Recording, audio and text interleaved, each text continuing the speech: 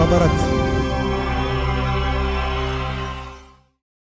الرحيم كمال بنرحب بيك النهارده. بنقول لك آه، تواجدك النهارده في مؤسسة كبيرة زي الأهرام آه، نافذة الشاشة. كلمنا عن حضورك النهارده ووجودك.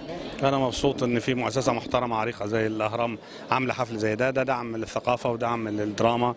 وخطوة لقدام يا رب تفضل مستمرة. الفنان لما بيلاقي كيان كبير ومهم بيدعمه بيبقى عنده حافز إنه يعمل حاجة أحلى. ويا ريت ده دايما على طول.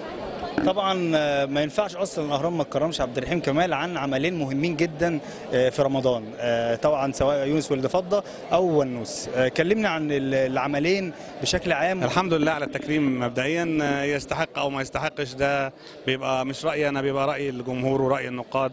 وده ملكهم العمل. أنا مجرد حد ربنا بيلهمني العمل ووسيط ما بين إلهامي وما بين الناس والناس في الآخر هي اللي بتقرر وهي اللي بتحب ده وهي اللي بتحترمه. كانت مفاجأة يونس ولد فضه كوميديا. يعني كان في حتة انت خليت عمرو سعد كوميديان لأول مرة. آه، كان مقصود؟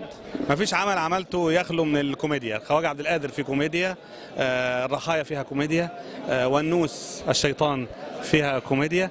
فأنا شايف أن الحياة خلطة على بعضها فيها الشجن وفيها الحزن وفيها الكوميديا وكذلك الأعمال بيبقى فيها من الحياة. حضرتك وأنت بتكتب السيناريو هل بيكون في خيالك الممثل اللي هيقدمه؟ والله في الأول أول الفكرة ما بتتجسد بيبقى لأ.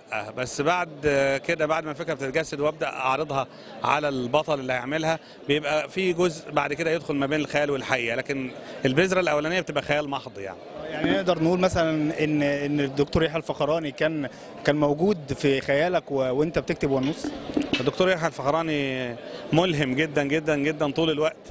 آه، بس أنا بعمل الشخصية الأول. وبعدين بشوف إنها مناسبة للدكتور يحيى الفخراني فبعرضها عليه. فلو هو حس إنها مناسبة ليها بنكمل سوا الحكاية. آه، طبعا مش هنقدر ننهي قبل ما نعرف الجديد لأن الجمهور دلوقتي بقى مس- مستني آه، موضوعات آه، عبد الرحيم كمال جديد سينما إن شاء الله مع أستاذ شريف عرفة الكنز. آه الكنز.